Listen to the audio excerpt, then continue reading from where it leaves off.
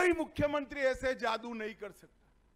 देखिए साहब, इन्होंने जादू कर कर राजस्थान में बिजली घूल कर दी, पूरे देश भर में बिजली मोदी जी ने घर घर पहुंचाई, यहाँ सबसे ज़्यादा कटौती राजस्थान में होती है। स्वास्थ्य की सुविधाएँ जो वसुंधरा राजे सरकार में बहुत आगे बढ़ी थी इसको घूम करने का काम ये अशोक गहलोत सरकार ने किया है।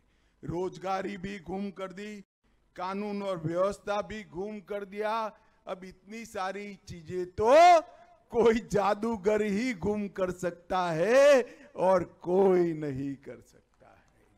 भाई और बहनों, चाहे बिजली देनी हो, स्वास्थ्य सुरक्षा ठीक करनी हो या कानून और व्यवस्था की स्थिति ठीक करनी हो, ये काम केवल और केवल कमल फूल की सरकार कर सकती है, भाजपा सरकार कर सकती है।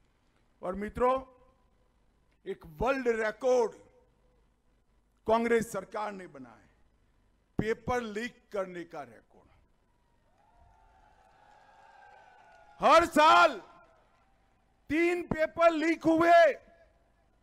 प्रदेश में पब्लिक सर्विस कमीशन का हर पेपर लीक होता है। चार साल में चौदह से ज़्यादा पेपर लीक हुए। लाखों युवाओं के भविष्य पर प्रश्न चिन्ह लगाने का काम किया है।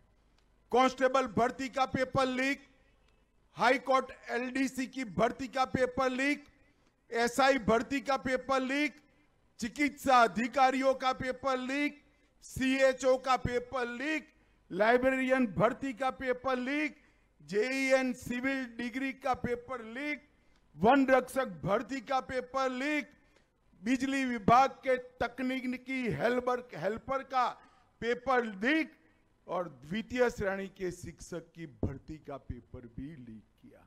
और गहलोत साहब कुछ नहीं बोलते गहलोत जी, एक पेपर के लिए एक युवा ढाई तीन साल कठोर मेहनत करता है, कई लोग ट्यूशन की फ़ी भी देते हैं।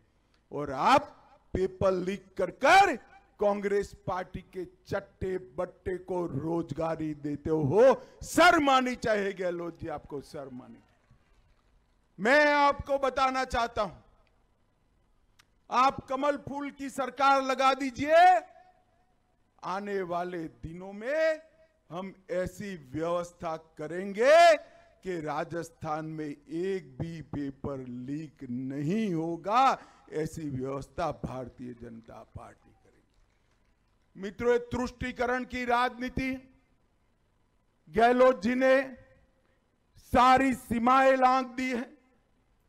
19 में टोंक में हिंसा हुई 20 में डिंगरपुर में 21 में बारह में 21 में झालावाड़ में 22 में करौली में 22 में जोधपुर में, छाबड़ा, भीलवाड़ा, करौली, जोधपुर, चित्तौड़गढ़, नोहर, मेवात, मालपुरा और जयपुर।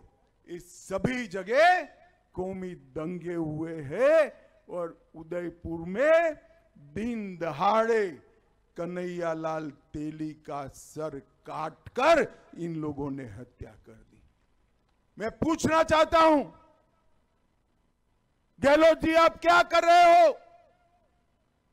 कन्हैया लाल तेली का सर काट दिया। आपने क्या किया? रामनवमी और महावीर जयंती पर प्रतिबंध लगा दिया। अब सर काटने वाले को तो ये कुछ नहीं करते। महावीर रैली, महावीर जयंती और रामनवमी पर प्रतिबंध लगा दिया और दूसरी ओर कोटा में पीएफआई वाले धड़ल्ले से रैली निकाल रहे हैं। भगवान भला करे, मोदी साहब का। इन्होंने निर्णय कर कर ये पीएफआई को बैन लगाकर जेल में डालने का काम ये भारतीय जनता पार्टी करौली में धारा 144 लगाई, अलवर में 300 साल पुराना मंदिर बुलडोजर से तोड़ा, झालावाड़ में कृष्णा वाल्मीकि पीट पीट कर हत्या करी, भरतपुर में संत विजयदास जी को आत्महत्या करनी पड़ी और सलासर में राम दरबार को भी बुलडोजर से गिराने का काम ये अशोक गहलोत की सरकार ने किया मुझे बताओ नावा वालों, डेमोक्रेसी में सबका अधिकार है या नहीं है? है या नहीं है? ये तुष्टिकरण की राजनीति चल सकती है क्या? ज़ोर से बोलो, चल सकती है? अरे उखाड़ कर फेंक दो गहलोत सरकार को, जो इस तरह की तुष्टिकरण की राजनीति करती है। और मित्रों तुष्टिकरण की तो सीमा होती। मुझे बताओ नावा वालों, ये कश्मीर हमारा है या नहीं है? ज़ोर से बोलो, अंत तक है या नहीं है? धारा 370 हटनी चाहिए थी या नहीं हटनी चाहिए थी? धारा 370 हटाने के लिए उनकी तो हिम्मत नहीं चली, कलेजा चाहिए, कलेजा। उनमें कलेजा नहीं था। आपने दूसरी बार 25 की 25 सीटें दी। मोदी जी 19 में प्रधानमंत्री बने। 5 अगस्त 2019 को मोदी जी ने धारा 370 समाप्त कर दी। और उस वक्त ये राहुल बाबा काहे को हँसते हो भैया? ये राहुल बाबा खड़े होकर पार्लियामेंट में कहते थे, धारा 370 मत हटाओ, खून की नदियाँ बह जाएगी। अरे राहुल बाबा, खून की नदियाँ छोड़ो, ये नरेंद्र मोदी का शासन है, किसी की कंकर चलाने की हिम्मत नहीं है, कंकर चलाने मोदी जी ने धारा 370 को समाप्त कर कर हमेशा के लिए हमारे कश्मीर को भारत के साथ जोड़ने का काम कर दिया। मित्रों,